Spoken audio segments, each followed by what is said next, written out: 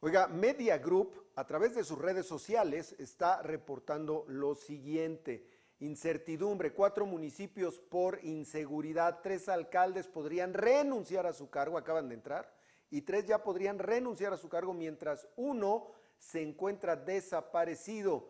Según la información de Media Group, por lo menos cuatro alcaldes michoacanos habrían presentado solicitud de licencia ante el acoso de los grupos criminales que operan en la entidad. Fuentes que han pedido guardar anonimato revelan que el alcalde de Cotija, Juan Pablo Aguilar Barragán, incluso ya habría abandonado el país.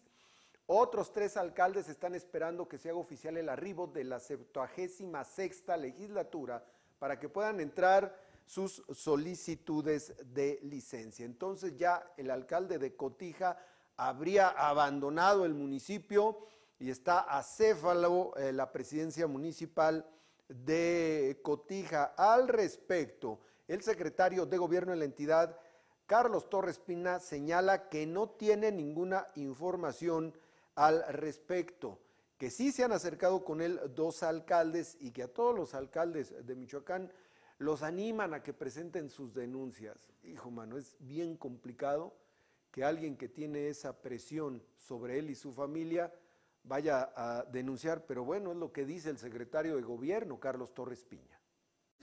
No hemos tenido alguna comunicación en particular de ellos.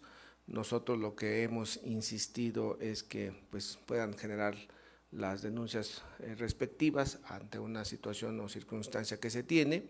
De manera particular he recibido yo un par de alcaldes con algunos comentarios muy en específico, pero estamos atendiendo y le vamos a dar seguimiento a las inquietudes que pueda haber con estos eh, escenarios propensos que pueda tenerse en cualquier municipio.